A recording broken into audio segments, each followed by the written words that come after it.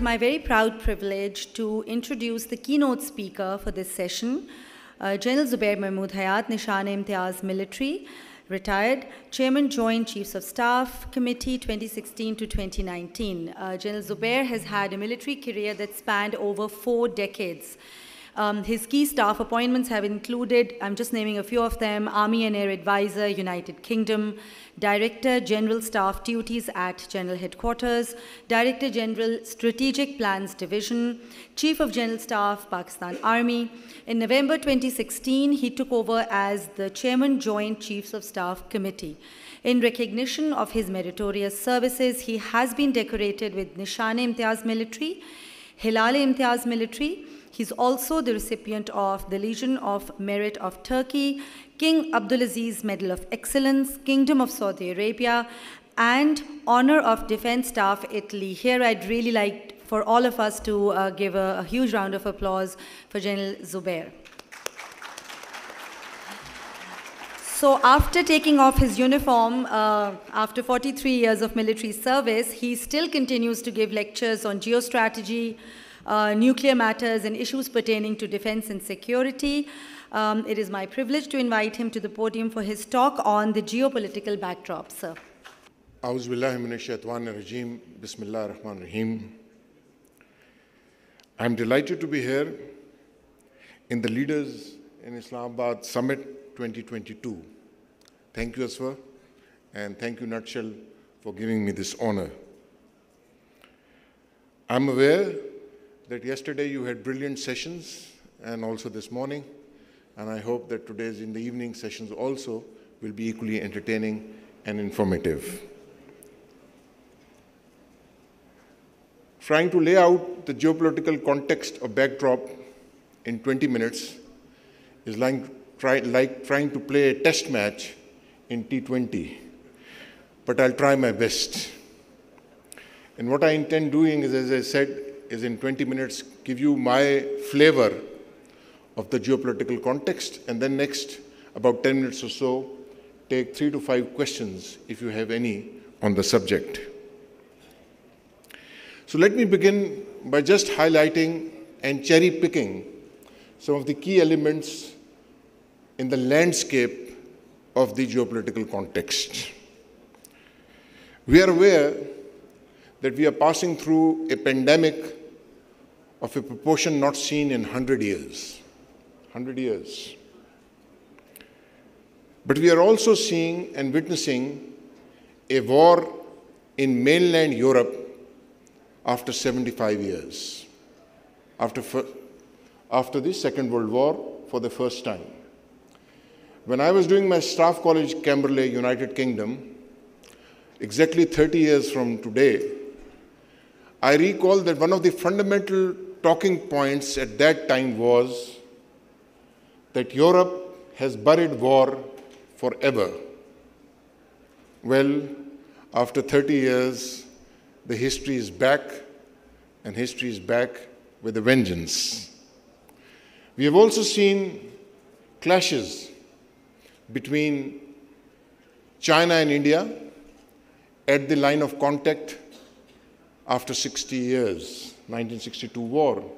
And so what you saw at Doklam or Galwan is not something that happens every day, every 10 years. It happened after 60 years. We've seen the United States uh, Speaker of the House, Nancy Pelosi, visit Taiwan for the first time after 25 years.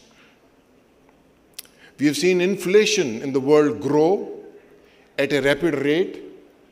And today, the world has the highest inflation that it has seen in 40 years, and this includes the European countries. The 40 years war in Afghanistan, starting in 1979, just ended about a year ago, and we are just seeing the aftermaths taking place because it has been exactly one year to Taliban takeover of Kabul last year on 15th of August. And only last night you saw a major explosion again take place in Kabul itself, killing more than about 25 people. And last not but the least, in October, after two years, notionally, the world will touch a population of 8 billion. And that's the highest population the world has seen since it came into being. Now, with this landscape, let me put up a framework. And the framework is very simple. The framework is a great power competition between two powers that is, between the United States and China. It is as crystal clear as it is. In this great power competition, there are to me two secondary players. One is Russia, the other is India. And there are other 20, I believe, nations of significance in this player, mostly in Europe, Asia, but also some now in Africa. And Pakistan stands amongst those 20 nations of significance. So, therefore, a great reset is taking place. And center to this reset, as historically always, is the balance of power. Now, in this balance of power and the shift of it was clearly visible 14 years ago. Because at a IISS meeting in Geneva in 2008, Henry Kissinger had said that the center of gravity of the world power has shifted decisively to Asia. That was said 14 years ago. Now, because the shift has taken place in some aspects, but has not taken place in two critical areas one is military balance of power, and the other is political balance of power. Therefore, there is a element of chaos and disruption.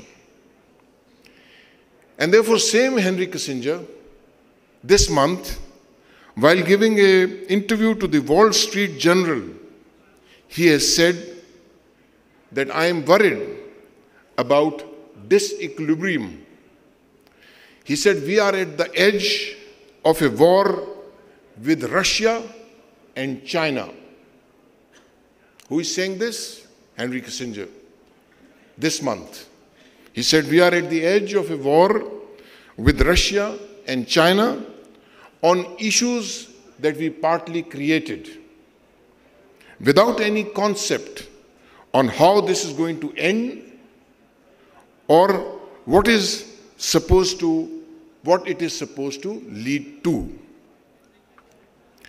therefore it is no coincidence that the united nations secretary general mr guterres also this month during the 10th npt recon conference in new york has said that humanity is just one misunderstanding one miscalculation away from a nuclear annihilation. Now, with this construct, and as I said, the primary contestation, as I said, between two powers A, what I call as a status quo power, and B, what I call as the emerging power. So, in all primary domains of political, economic, military, and technology, you see this contestation taking place. Now, as far as status quo powers are concerned, they are upping the ante. You have seen Quad, you have seen Quad Plus, you have seen Eastern Quad taking shape. In the military domain, you have seen NATO, expansion of NATO especially towards the east, and incorporation of nations which are in previous times were more neutral. You've seen a new AUKUS taking place. You've seen development of new commands, the Indo-Pacific Command. You have seen the African AFRICOM coming up. You have seen Cyber Command taking shape. You have seen Space Command shaping, taking shape. And also you have seen development and deployment both of laws, that is, lethal autonomous weapon systems, and hypersonic weapon systems. So much is happening. But on the economic front, you see the status quo powers applying sanctions, and not to countries traditionally used to it like Iran or Venezuela, but now, more importantly and aggressively, to Russia and also increasingly to China. And last but not the least, the uh, status quo powers are actually flirting with a new form of currency in the form of digital currency, which will move away from the traditional base, both of oil or gold. As for emerging powers are concerned, they are relatively catching up on political domain. They have a construct called the SCO, of which obviously Pakistan is also a member. But in the military domain, you can see telltale signs of increased cooperation in development of hypersonic weapon systems, but also development and deployment of ballistic missile defense systems called the BMDs. On the economic front, they have the biggest ticket in the town, that is the BRI, the Belt and Road Initiative. But they also are evolving their own banking system, the AIIB being the central part of that strategy. In technology, they are now competing, and therefore you see Huawei uh, taking a leading role. You see 5G, 5G being contested, 6G now being deployed in China. You see artificial intelligence and cloud computing also in these powers taking place. Now, with this pursuit by the two powers, Europe, unfortunately, has lost its steam. And after Brexit and some other countries wanting to leave, and the two Central European powers also changing their strategic orientation, Europe is now increasingly leaning on the shoulders of the United States. Gulf, the bedrock of which was oil, because oil underpinned its political and its military and security context. Because oil is evaporating, maybe no more in next 30 years, but more definitely decreased relevance in next 10 years, the relevance of Gulf is under question. And therefore you see new constructs like the Abraham Accord or the Abraham Accord Plus taking shape. But as I believe that some things in Gulf have not changed, like its geography has not changed, its Muslim character has not changed, its history has not changed, its culture has not changed, and therefore it will continue to have its place of influence. Of more immediate concern to us is our neighbors like Iran, and you might hear news about the JCPOA in next about a week or so. If yes, it might unleash a different set of dynamics, and if no, it will again lead to a set of different dynamics taking place. But the way Iran has shaped up its relationships both with Russia and China is something to particularly note about. Now, a key word about India. And as I said, India I find as a secondary player in this great power competition. What India is trying to do is to evolve a new normal. India believes it has the power potential to do so. To me, that remains questionable.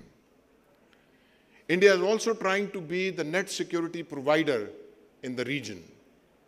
And therefore, you see India flirting with notions such as surgical strike. What India is confronted with is a 1,000 year old challenge in the shape of Hindutva and the RSS, the octopus that I call, that has engulfed the Indian state.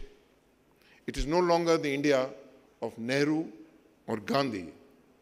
It is now the India of Modi and Yogi.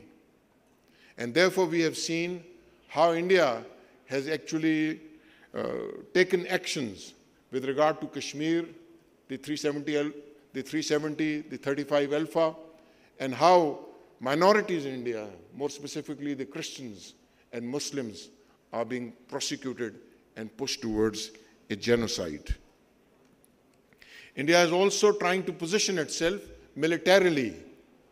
And therefore, this concept of linking Pacific with the Indian Ocean, the Indo Pacific context, in this it has already uh, engaged in major uh, agreements like the COMCASA, the COMCASTA, the LEMOA, the CISMOA. These are those foundational military agreements which India has actually crafted and has put on the table. But it is also acquiring massive arms. India has been the largest uh, importer of conventional arms for the last 15 years. But recently it acquired S-400 from Russia and any other nation, Turkey is the only other exception, uh, which would have acquired S-400 would have come under sanctions because of an American law, the, the CAATSA. But obviously, there is a waiver on that account, and India is the only country not only that has acquired, but has also deployed those weapon systems, the S-400. And interestingly, the deployment, initial deployment, is not against China. It is predictably towards Pakistan. So therefore, in this geopolitical context, the major underpinnings which drove the economies like oil, like gold, like human labor, they are on the recess. And new elements such as data, technology, and certain key materials are in play. So we are seeing the birth of a new world order. So let me try and conclude. And I ask three questions. Question one Can the Thucydides trap be avoided? Question two Will the things get worse? Question three. And finally, how, when, and in what shape, but more importantly, at what cost will the new world order take shape? But for myself, I've always believed that when the going gets tough, the tough gets going. Thank you very much.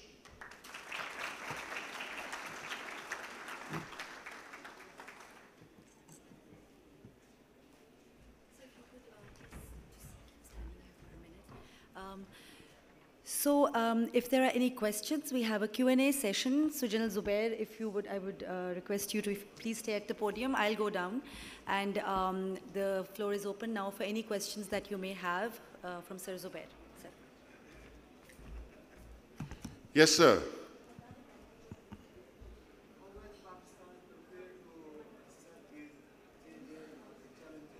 Sir.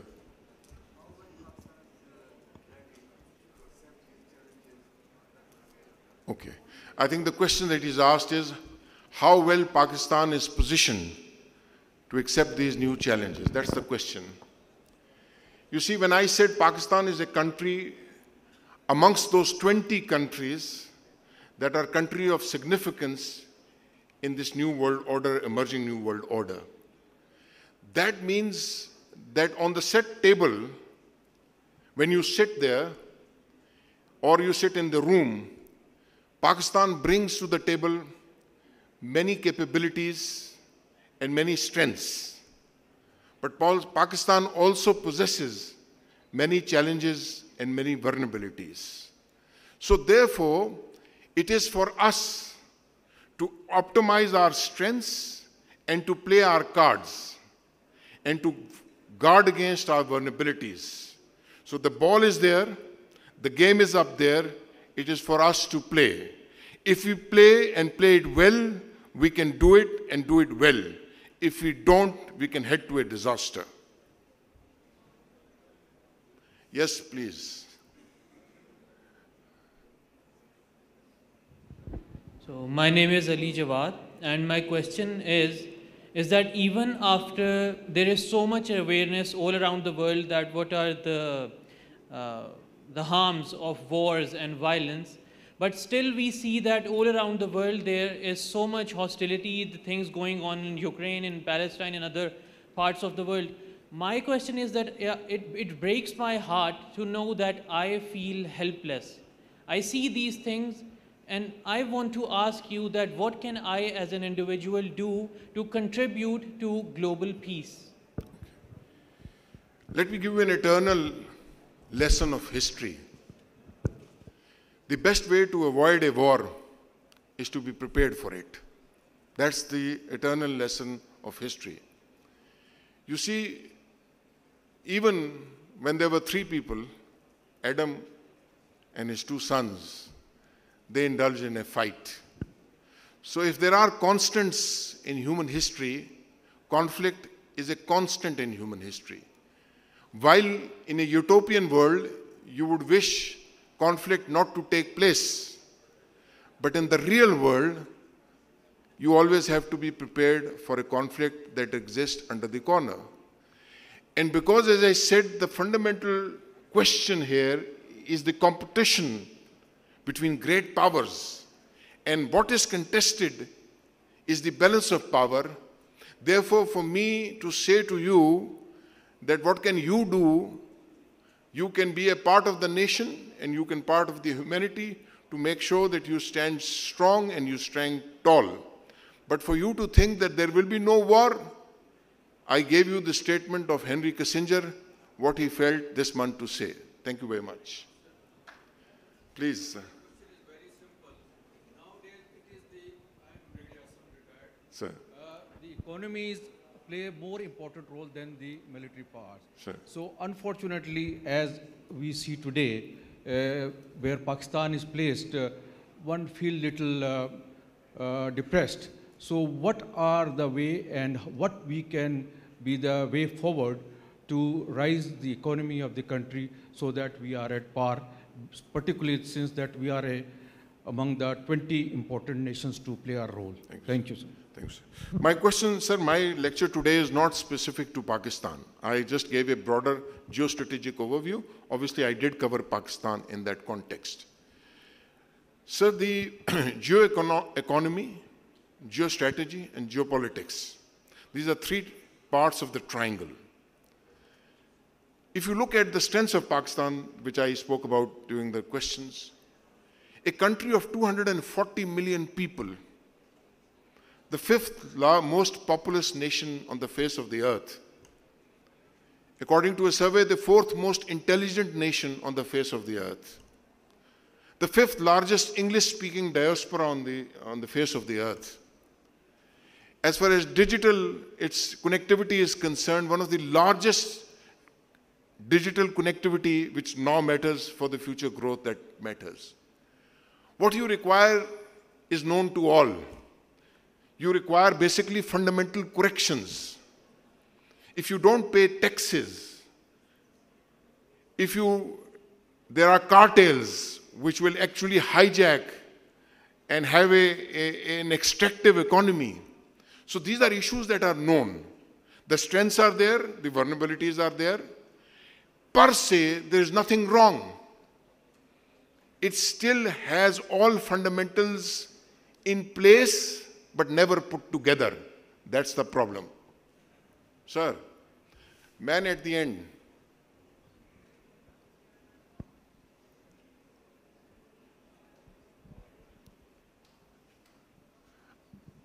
So my name is Adil Hussain. Hello. Uh, so my name is Adil Hussain. Uh, as the Taiwan issue is uh, emanating on the surface, uh, China and USA are facing, uh, confronting each other. So what is the position of Pakistan? Uh, what do you expect that whether we will go toward the US bloc or the Chinese-Russian bloc? Look, I'll give you a position on Taiwan. There is no ambiguity on that. Taiwan is an integral part of China and Pakistan believes in and will continue to do so in one China policy. Thank you. Yes, sir. Uh, my name is Moin. Okay, my name is Moin Bartley. So this is a time of great change. And uh, now, as the whole world is, is going through an evolution, so we as, as a, uh, maybe I, I, guess you could say third tier country, part of the group of 20, we have to plan our, our own strategy, right? To best uh, position ourselves. So um, should we um, uh, sort of plan an independent sort of a strategy where we keep all our options open? Or should we join uh, one block or be, be more inclined towards being a part or having linkages with one block or the other? Uh, you know, uh, what would help us in the, in the medium to uh, long, long, long run in terms of uh, what's happening in the world? Thank you. Thank you. You see, Sahibzada Yaqub, whom I respect a lot, late, may Allah bless his soul, used to say that leaders are those who can not only foresee, but leaders are those who have foreseen. So this question once looked back about 15, 20 years from now, in 2035 or 2040, people would have seen how the leaders of this country have played their card. What I did allude to, what Brigadier Saab was saying, was that we have the cards. We don't have to box ourselves into a position of no return. And a country of a nuclear power, the ninth amongst the nine nuclear powers, as I said, 240 million people, cannot be boxed, should not be boxed. For example, let's take energy and oil today. I mean, India today is buying 20% of its oil from Russia. Before this crisis began, India used to just buy 2% of its oil from Russia. Today it buys 20%. What stops Pakistan from actually going to Russia and getting not only oil and wheat on cheaper rates for our country? So we have the cards. We should have the will to play those cards. Thank you, sir. Sir. Good to see you, sir.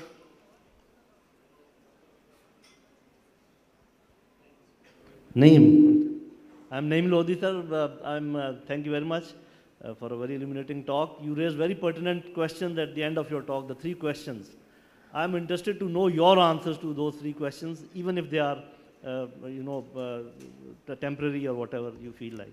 Okay.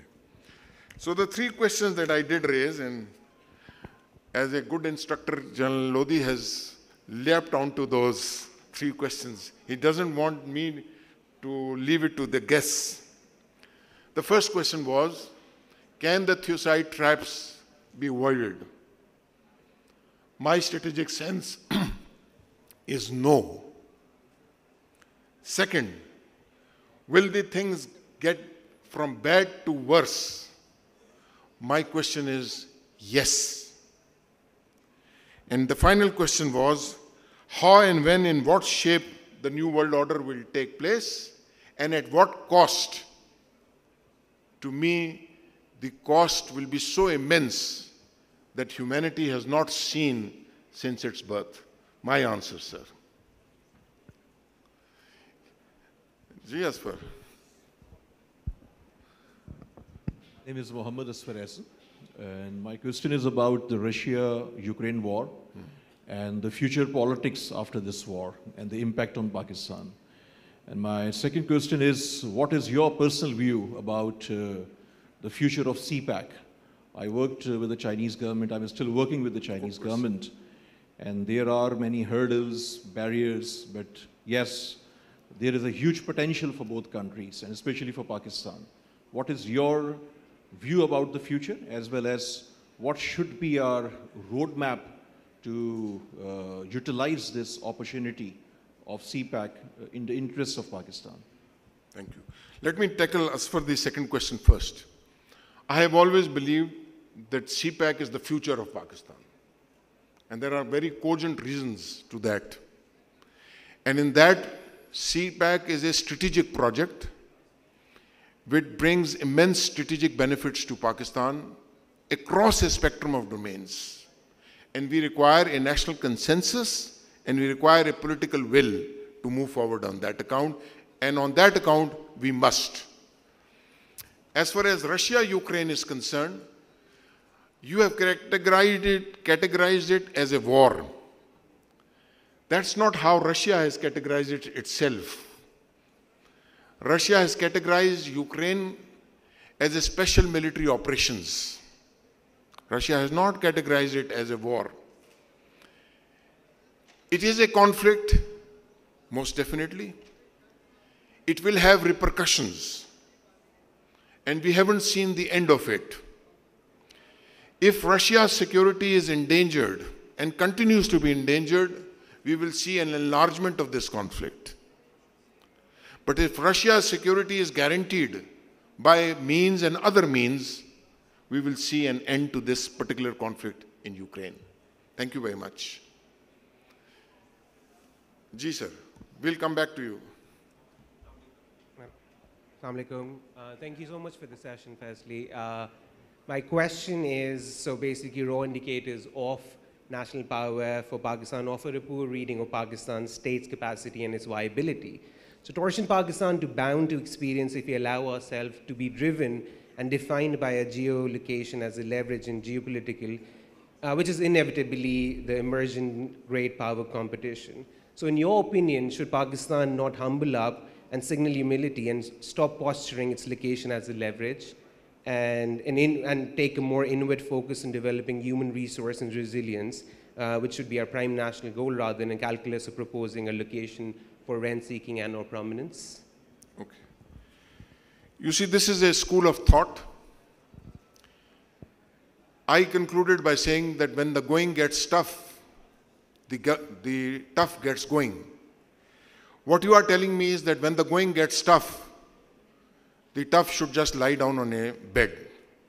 That's the two fundamental equation. You see, this great power competition is not of my making.